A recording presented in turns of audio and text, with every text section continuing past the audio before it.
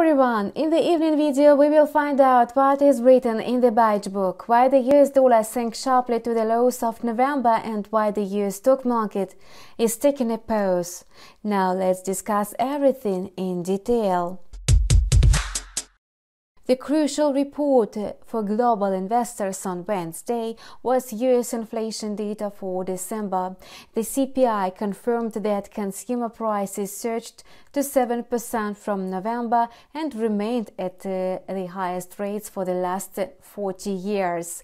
Notably, experts indicate that the headline inflation, excluding prices of gasoline and transport services, begins to expose the first signs of exhaustion. The core CPI without gasoline and food prices rose by 5.5% on year. The US Fed released the Beige book exactly two weeks before the nearest policy meeting. This is a regular report from the regulator on US economic conditions. The fresh report reveals a steady economic growth, albeit the industrial sector and domestic demand might be losing momentum. The same might be true about consumer inflation. The Fed also pointed out uh, other headwinds such as logistics problems and the lack of personnel due to the Omicron variant. Today, traders got to know the information on factory inflation, and the US PPI slipped to 2.2% in December from 1% a month ago. In a separate report, the number of initial unemployment claims grew to 230,000 last week, higher than expected, and surprising uh, a flat number at roughly 200,000 in the last few weeks. Analysts compare the current situation with the early 1980s. Looking back, high inflation was propelled by a rapid rally of oil prices. As a countermeasure, the Fed raised interest rates that eventually reached 16% per annum. However, the cost of the victory was a downturn in the economy and a jobless rate at 10%. Jerome Powell and his colleagues uh, are unwilling to repeat this painful experience, so they aim to take flexible and cautious moves.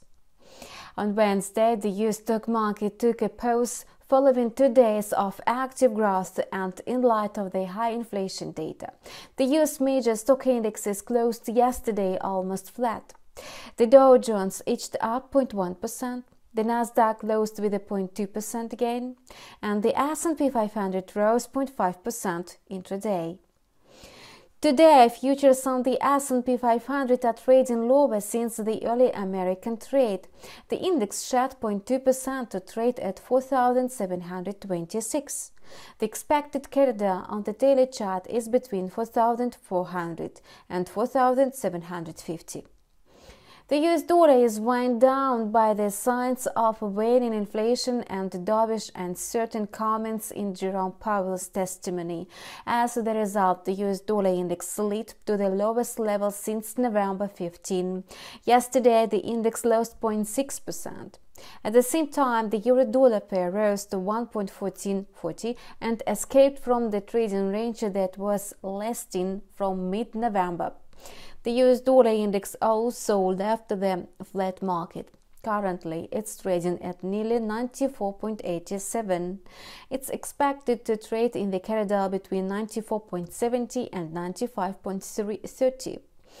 Analysts are certain that the US dollar is going through downward correction. The greenback will recover inevitably as soon as the Fed Reserve begins monetary tightening.